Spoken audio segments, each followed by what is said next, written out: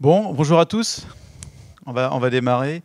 Euh, je me présente en quelques mots. Donc, euh, David Croissant, je suis ici euh, enseignant à l'ESA et responsable du département environnement végétal, alors végétal spécialisé. Donc, on va avoir une, on voit une belle salade.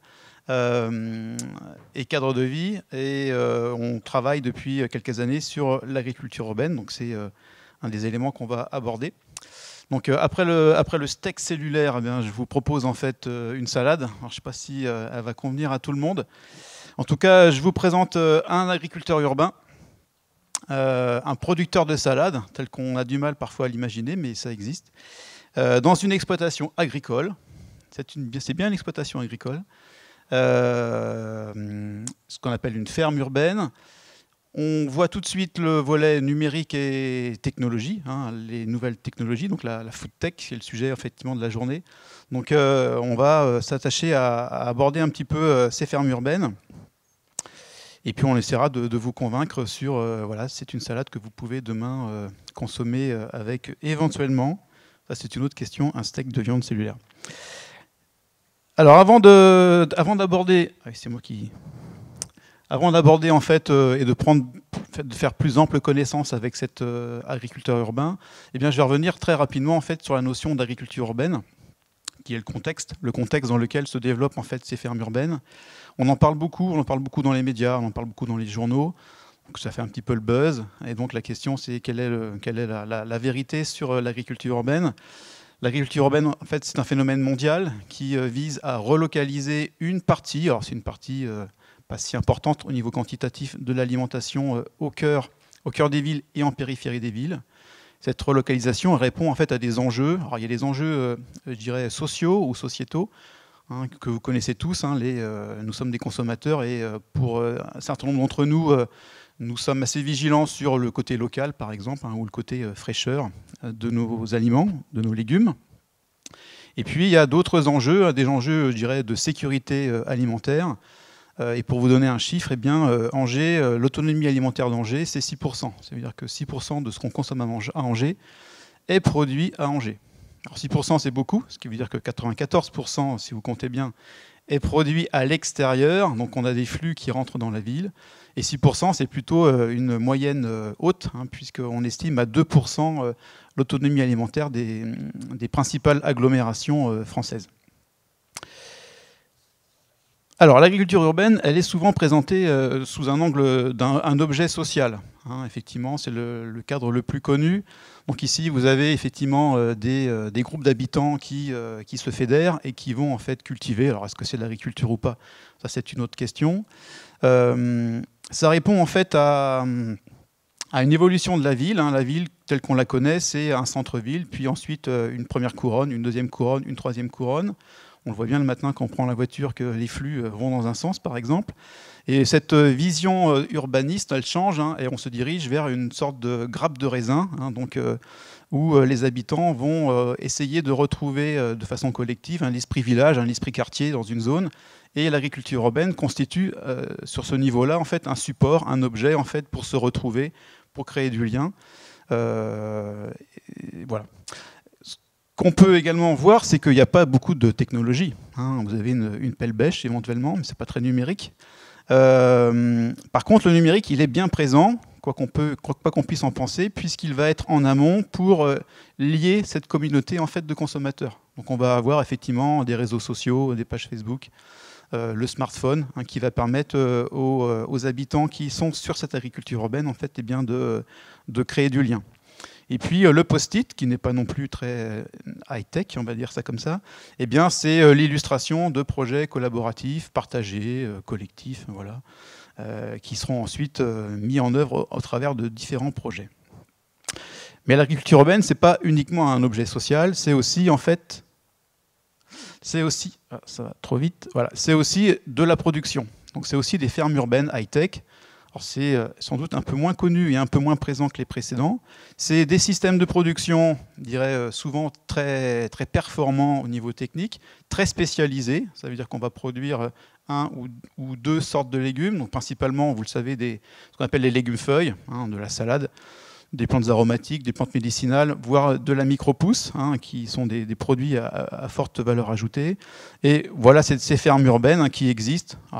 Assez peu en France aujourd'hui, mais euh, de façon beaucoup plus importante dans d'autres régions du monde, j'en parlerai en, conclusion, euh, dans lesquelles en fait, on va retrouver des agriculteurs qui travaillent, et puis également des salariés, on pourrait dire des ouvriers agricoles également, qui sont dans ces fermes urbaines. Donc la question, effectivement, est-ce que demain on peut imaginer une ville, la ville d'Angers ou la ville de Lyon, Bordeaux, New York, euh, ce que vous voulez comme ville à l'échelle mondiale, avec une, deux, trois, quatre fermes urbaines, chacune produisant en fait euh, du basilic, des tomates, des champignons dans un sous-sol par exemple, ou de la salade, et puis autour de ces fermes urbaines, des communautés de, consommateurs qui vont aller avec leur smartphone, eh bien, une alerte, et je vais aller chercher des champignons ou, les, ou alors je vais récupérer ma salade pour le, pour le repas du soir. Alors rêve ou réalité, ou future réalité, c'est une question sur laquelle on va essayer de, faire avancer un petit peu les choses. Alors, la vie, la vie qu'on a au niveau, euh, au niveau du département, en tout cas, c'est que euh, ces fermes urbaines vont prendre de l'essor. Ça, nous semble évident. Et comme l'a rappelé en fait euh, l'intervenant précédent, parce qu'il y a des enjeux au niveau mondial qui sont importants, de nourrir en fait nourrir la population urbaine mais elle ne va, faire, va se développer uniquement que si elle est capable de faire preuve de sa durabilité. La durabilité, on va, on, va la définir, mais c'est important. Si elle n'est pas durable, en fait, les consommateurs ne vont pas l'accepter et, je dirais ces, ces, systèmes de production vont assez vite euh, péricliter ou vont rester euh, au niveau de, de niche euh, dans quelques endroits du monde.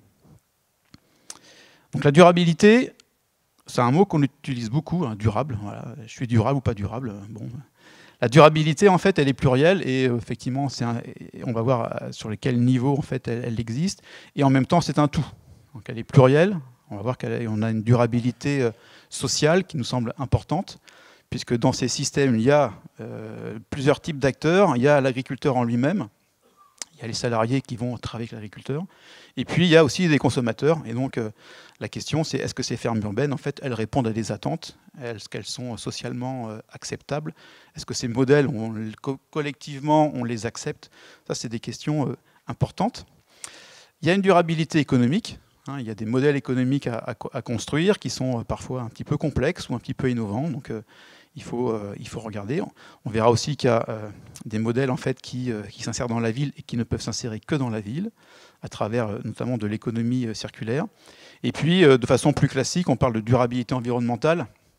Hein, il faut essayer de mesurer l'impact de ces fermes urbaines sur, euh, plusieurs euh, éléments, la biodiversité, euh, la ressource en eau, l'électricité, etc. Globalement les ressources. Et c'est un enjeu important de pouvoir mesurer et de pouvoir comparer différents systèmes pour voir comment en fait ces fermes urbaines high-tech puissent, enfin comment elles s'insèrent hein, en comparaison d'autres systèmes de production agricole. Donc on va démarrer par euh, l'humain quand même, ça me semble être un élément essentiel, l'humain. Dans tout système agricole, il y a, il y a de l'humain. Donc il y a un agriculteur, là vous avez on pourrait dire un ouvrier agricole, un salarié agricole qui est en train de, récolter et, de, et d'emballer en fait euh, ses légumes feuilles. Eh bien, euh, une des premières questions qu'on se pose, c'est justement l'écosystème urbain. Si vous créez une ville urbaine, enfin si vous créez une ferme urbaine en région parisienne, vous êtes tous, euh, enfin vous savez, vous savez tous globalement qu'il est assez compliqué de se loger à Paris, que c'est assez onéreux. Et donc, euh, euh, ces systèmes de production urbain, il faut vraiment qu'ils prennent en compte aussi le, l'ouvrier et l'agriculteur, de façon à ce qu'il puisse vivre hein, sur sa ferme ou à proximité de sa ferme. Il y a également les conditions de travail qui sont des éléments importants. Hein. Là, ça semble être assez sympa de, de, de, de d'emballer et de mettre en, caisse euh, ces salades. Euh, il y a d'autres fermes urbaines où on est euh, dans un éclairage LED, donc on voit tout en violet ou tout en noir, donc c'est pas très sympa pendant 8 heures. Il y a aussi des fermes urbaines en cave, dans les sous-sols, donc on a des cadres, des cadres de, travail qui ne sont pas toujours très agréables. Donc ça c'est pour le premier acteur, c'est pour l'agriculteur.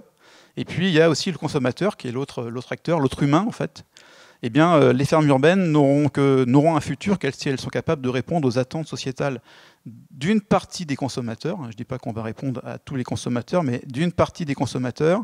Et ces systèmes urbains ont un avantage, en fait, c'est qu'ils sont confinés. Ça veut dire qu'il n'y a pas de, pas beaucoup de liens avec l'extérieur.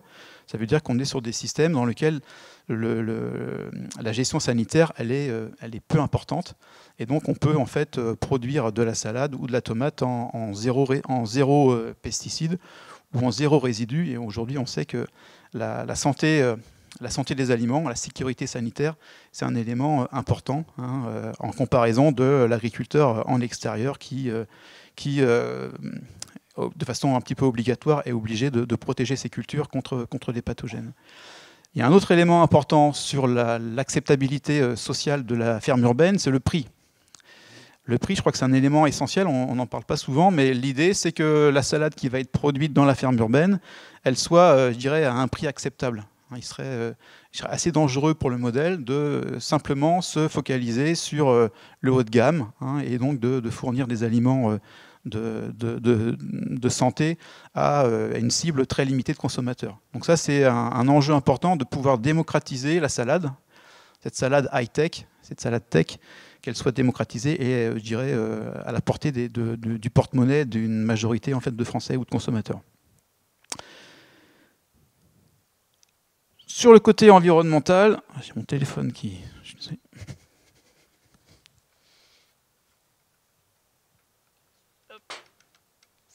C'est la tech en fait. Hein. Voilà.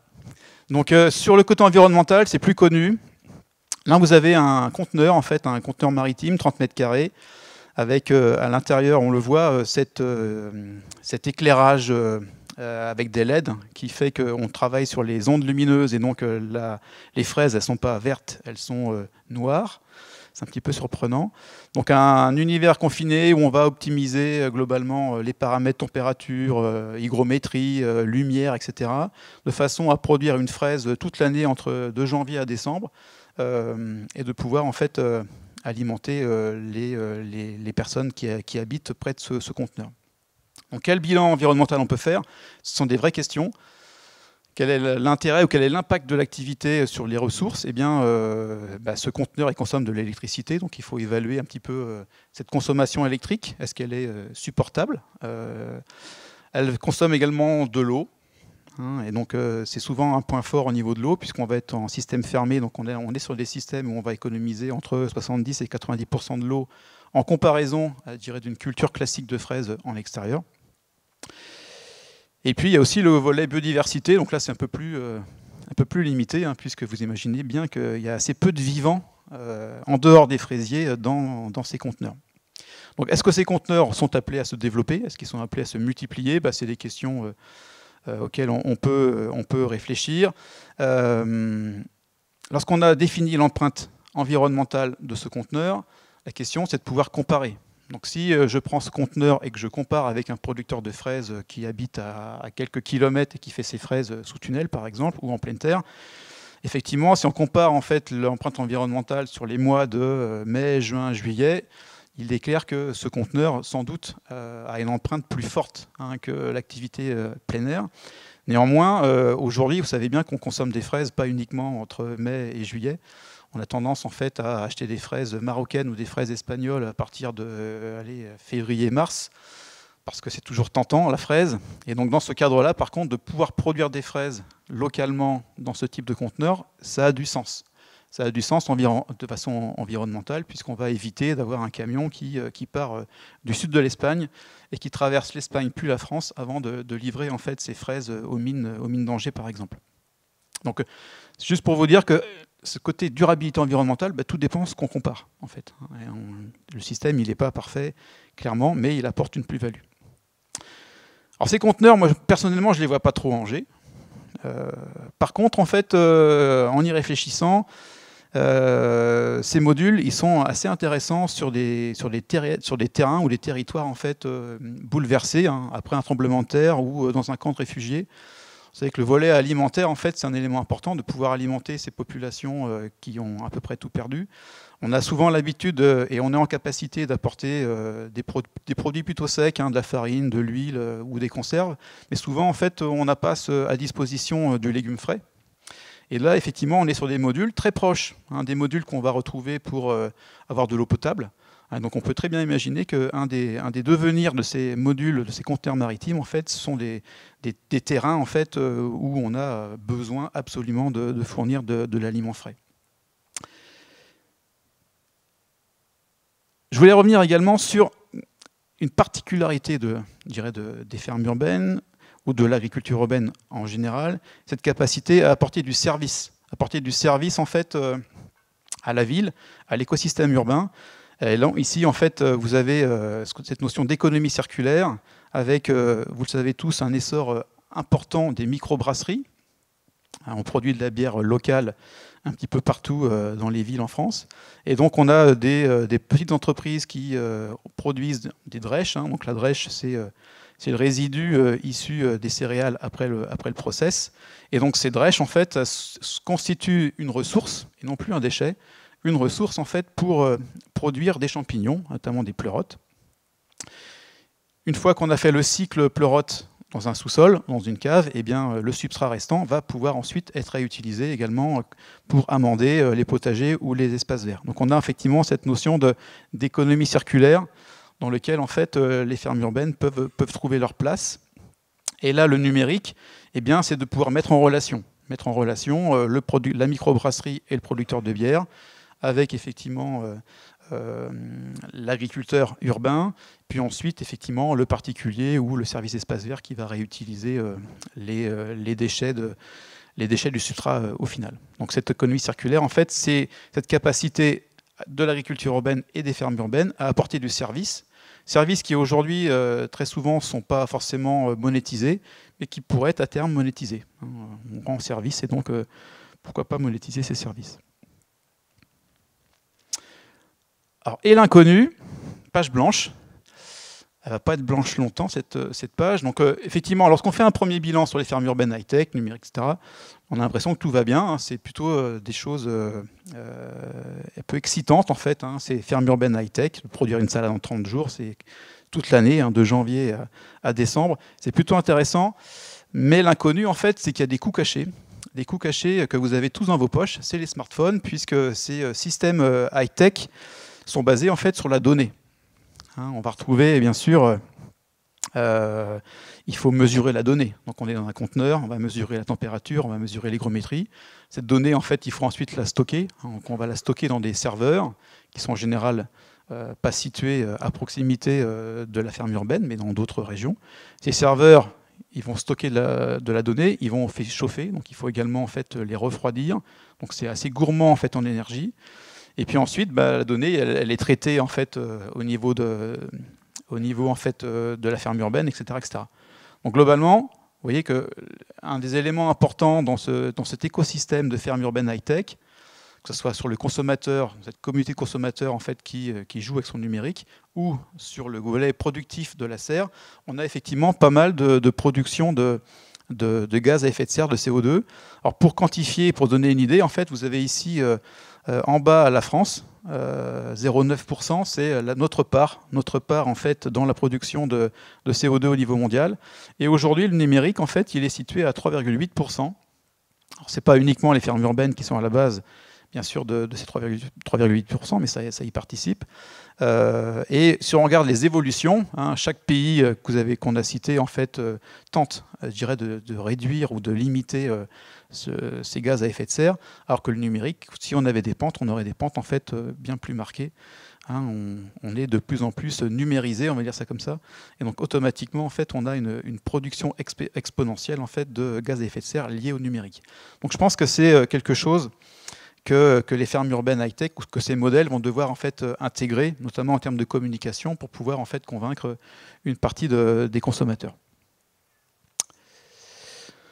Alors convaincu, est-ce que vous êtes convaincu de manger une salade tech avec un steak cellulaire? J'en sais rien. Euh, sans doute qu'il y a, dirais, euh, une partie des consommateurs qui aujourd'hui en fait sont euh, aptes à consommer en fait en le sachant ou pas. C'était une bonne question tout à l'heure. Est-ce qu'on est au courant de tout? En tout cas, en le sachant ou pas, ce type de salade. Peut-être que la salade de votre burger en fait, elle est déjà de ce type-là.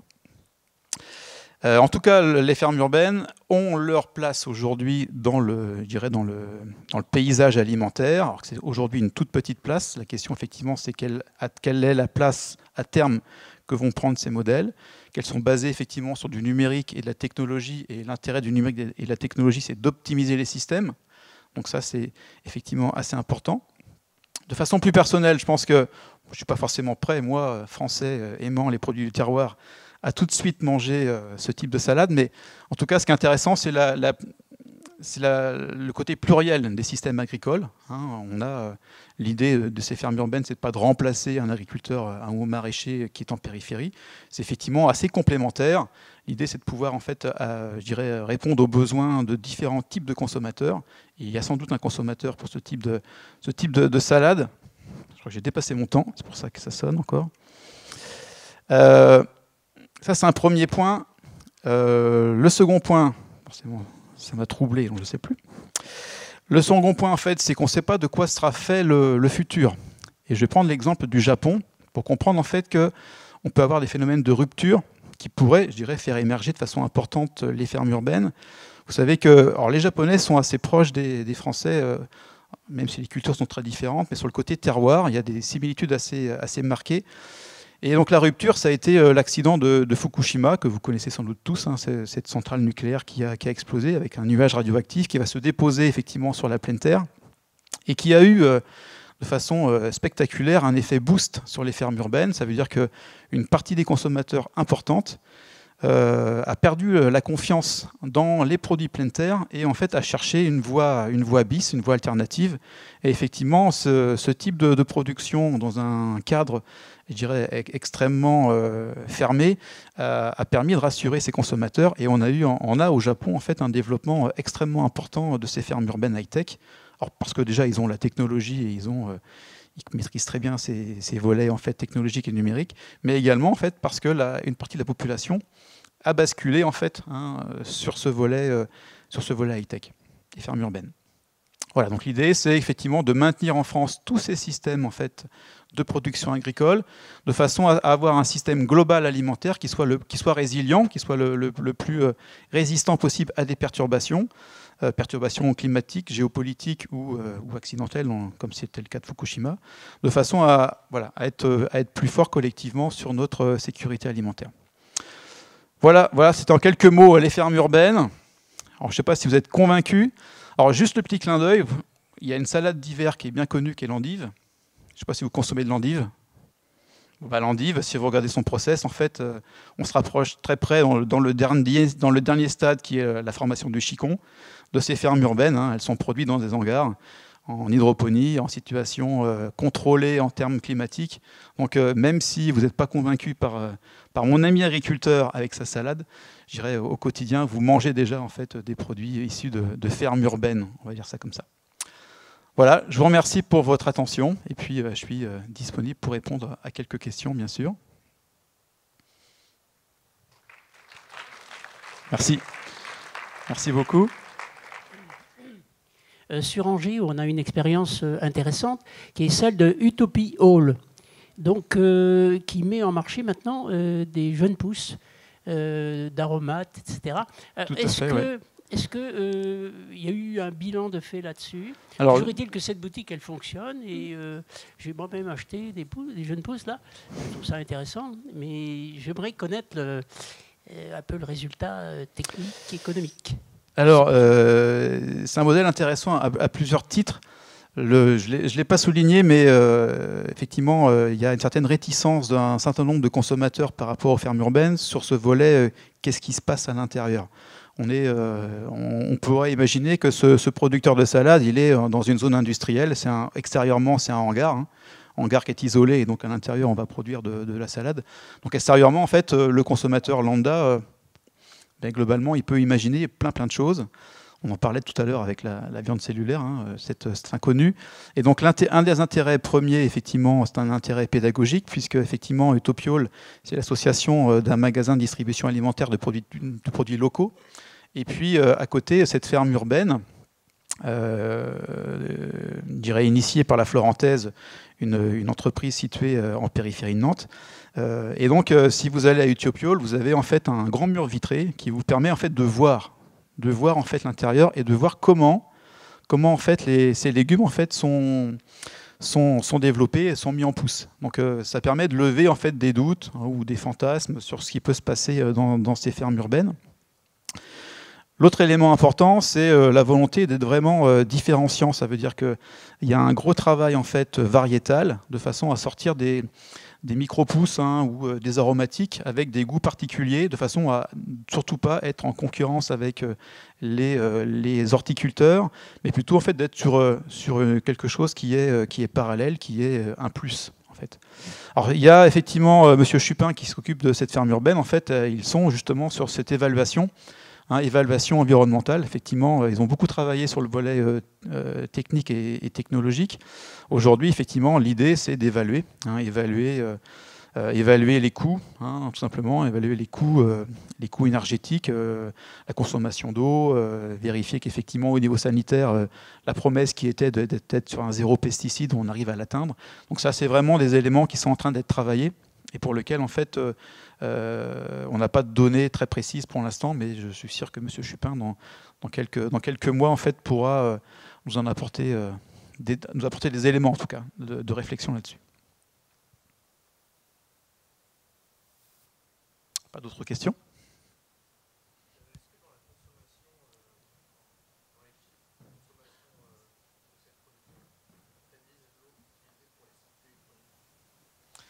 Quand on fait un bilan environnemental, effectivement, il faut définir quel périmètre, quel est le périmètre qu'on va utiliser. Est-ce qu'on est vraiment au sens strict sur la ferme urbaine? Est-ce qu'on prend en compte la construction euh, tous les matériaux en fait qui sont utilisés euh, du conteneur jusqu'au circuit électrique euh, derrière il y, a, de la ressource qui est consommée.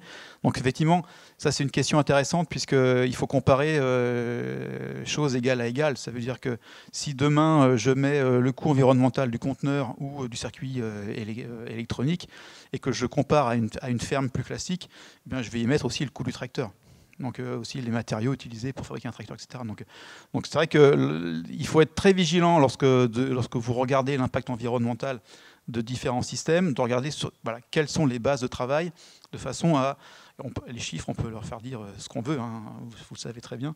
Et donc, euh, voilà, quelles sont les bases de travail? Est-ce qu'elles sont comparables? Et à partir de là, en fait, on peut comparer et, euh, voir est-ce que le système, en fait, est plus durable qu'un autre et donc est plus acceptable et sera donc mieux accepté, en fait, du consommateur.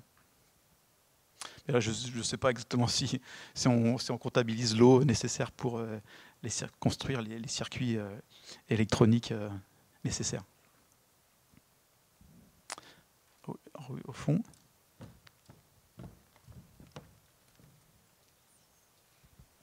Bonjour, merci pour euh, votre présentation. Je voulais savoir euh, euh, si finalement il y avait eu des questions autour de la qualité nutritionnelle de ces produits, parce que les consommateurs se disent souvent bon bah c'est pas produit dans le sol, donc est-ce que finalement ils ont les mêmes qualités nutritionnelles? Est-ce qu'ils ont les mêmes qualités nutritionnelles? Euh, Est-ce que le sol a un, impact en fait sur la qualité de l'aliment? Et donc, si on est hors sol, est-ce qu'on a la même qualité? Voilà, est-ce qu'on est capable de produire la même qualité nutritionnelle en matière de micro et macronutriments hors sol? Globalement, euh, a priori, oui. On a, on travaille sur sur, sur l'alimentation minérale en fait des ici des, salades par exemple, et euh, la, qualité, euh, qualité alimentaire en fait, elle, est sans doute très proche. Il y a aussi un travail très, important sur la teneur en nitrate par exemple aussi de la salade, puisque euh, la salade c'est quasiment que de l'eau, hein, donc elle a la capacité à, stocker en fait pas mal de nitrate. Donc là aussi, on est sur des systèmes qui somme toute sont où on peut plus facilement contrôler les nitrates que sur une salade à l'extérieur, en fait, où les aléas climatiques font que c'est parfois un peu plus compliqué.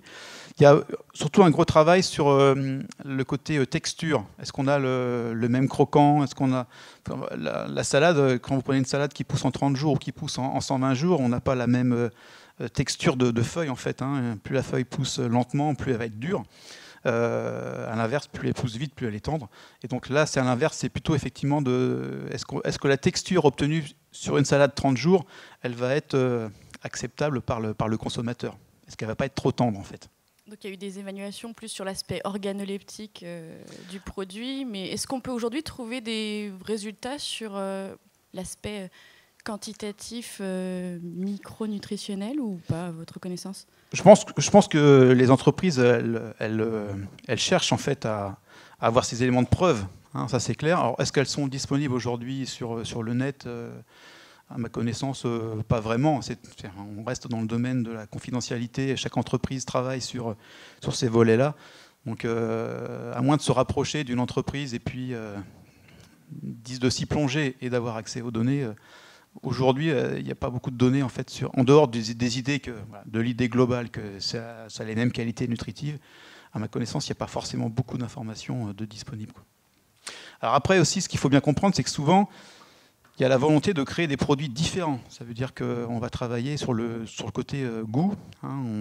si vous allez à Utopiol et que vous goûtez effectivement euh, ce qui en sort, c'est effectivement pas un basilic euh, classique qu'on va retrouver sur le marché, c'est vraiment un basilic moutardé où on va rechercher vraiment à caractériser des produits qui, avec des goûts très très différents en fait, pour se différencier d'ailleurs d'un agriculteur plus classique.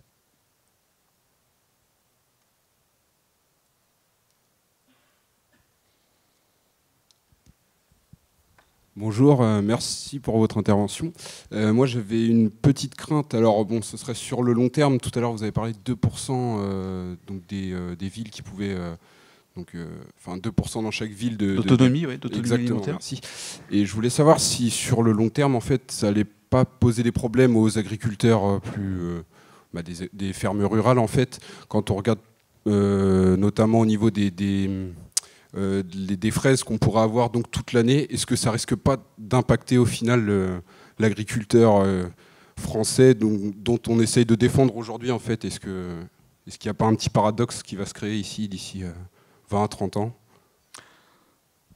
Alors, il y, a toujours cette crainte, effectivement, de, concurrence entre agriculteurs.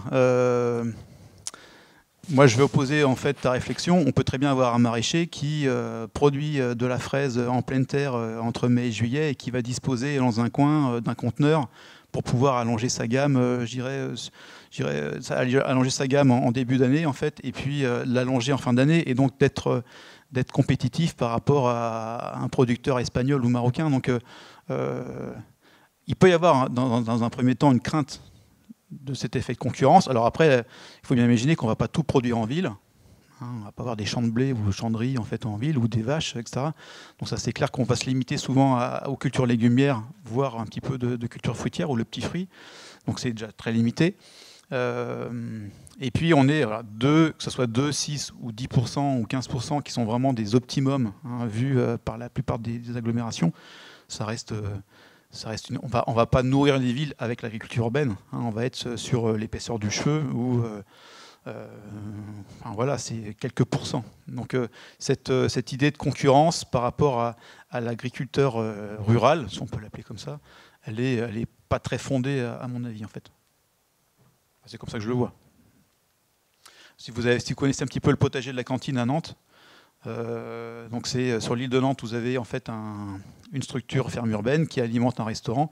Celui qui a cette euh, structure, en fait, c'est un maraîcher de la périphérie qui va en fait profiter de cette succursale sur l'île de Nantes pour pouvoir écouler aussi d'autres produits. Donc il y a aussi des, synergies hein, qui vont permettre aux producteurs ruraux de se rapprocher en fait de l'espace urbain et, du consommateur. Donc tout est, on est dans un champ d'opportunités extraordinaire tout est à construire et, euh, il faut plutôt voir les choses comme des opportunités que comme des, comme des contraintes en fait.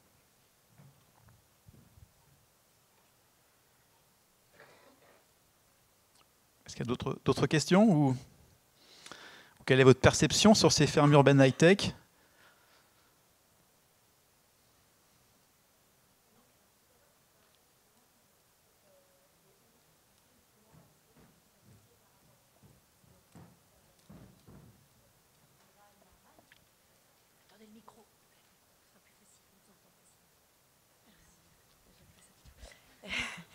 Mais est-ce que, euh, mais est-ce que finalement, vous n'avez pas peur non plus de perdre une certaine euh, diversité? Parce que je suppose que dans ces produits, on ne peut pas non plus justement avoir tous les types de produits, puisqu'on perd une certaine, les, conditions de, de production qu'on peut avoir euh, justement dans, dans, dans, nos campagnes, dans, en, en, général dans la production normale. Je sais pas si. Non, J'ai pas peur en fait. Dans l'absolu, j'ai pas peur. Euh, j'ai pas peur. Pourquoi? Parce que, in fine, en fait, c'est qui qui décide? C'est le consommateur. Donc, de toute façon, euh, euh, vous avez tout à fait le droit de rejeter tel ou tel modèle. Vous avez le droit d'avoir une alimenta- une alimentation bio ou pas. Vous avez le droit d'avoir une alimentation locale ou pas. Vous avez le droit de consommer une salade urbaine ou pas. Vous avez, euh, vous avez euh, les outils entre les mains en fait. Donc, si vous avez si s'il y, a la crainte, c'est que demain, on a une diversité végétale moins importante qu'aujourd'hui, bah, à vous, consommateurs, de, de mettre en place les moyens d'éviter en fait cette, euh, cette perte de diversité végétale. Il y, a, il y a plein de choses à inventer. Vous pouvez euh, vous associer à un maraîcher, vous pouvez, euh, enfin, voilà, les AMAP par exemple, c'est une façon en fait d'avoir son droit de vote sur son alimentation par exemple. Donc, donc euh, n'ayez pas peur. euh, globalement, euh, c'est clair que sur ces systèmes, il y a peu de diversité parce que on est sur des systèmes très spécialisés, mais ça c'est un choix, un choix technique, hein, clairement. Mais si on replace ça dans l'écosystème alimentaire, ne vous inquiétez pas, vous avez, la capacité de trouver une diversité alimentaire et de la défendre, hein, justement, effectivement. Donc j'ai pas peur. Bon, on fait signe que ça coupe. en tout cas, je vous remercie, je vous remercie de votre écoute. J'espère que ça vous a un petit peu éclairé hein, euh, sur l'impact des fermes urbaines sur, le, sur notre futur. Je n'ai pas, voilà, pas donné forcément de réponse exacte. Euh, à mon avis, il y aura toujours des fermes urbaines dans quelques années. Il y en aura sans doute de plus en plus. Alors, sous quel format pour quel, pour quel type de consommateur Ça, c'est à définir. Peut-être vous. On vous verrez bien comment les choses vont évoluer dans les, dans les années à venir. En tout cas, merci à vous.